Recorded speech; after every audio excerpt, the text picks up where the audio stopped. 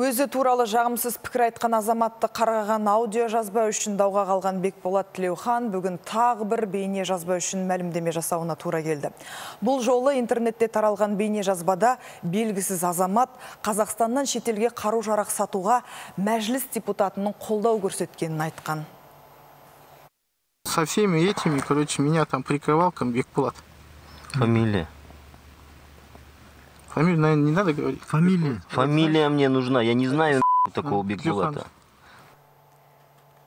Белгісіз азаматтардың сұрағына жауап беріп отырған бұл жігіт былтырғы қазаннан бері қарай Қарағанды облысы Приозерск қаласы аумағындағы Ресей қарулы күштеріне қарасты әскери бөлімнен қару жарақ сатып алып жүрмін дейді. Тіпті бұл қылмыстық әрекетке ұлттық қауіпсіздік қызметінің лауазымды тұлғалары көмектескенін айтып отыр. Видеодағы азаматтың айтуынша жуырда ғана әуе қорғаныс күштері пайдаланатын құрылғылардың жеті жүк көлігіне тиеп Ресейдің омбы қаласына жеткізген көрінеді. Бұл қару жарақтың ары қарай қай жаққа және кімге жөнелтілетіні жайлы ақпарат айтылмады. Жазбаны кім және қашан түсіргені белгісіз.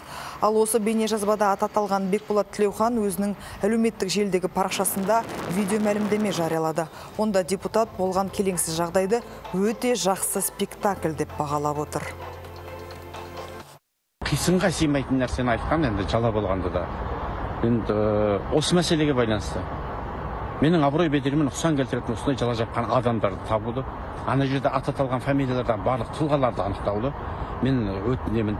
Ұлттық қауіпсіздік комитетінен енді басқа да құқық қорғау органдарынан қауіпсіздік кеңесіне осы мәселеге байланысты шағым түсіргенге танықтасын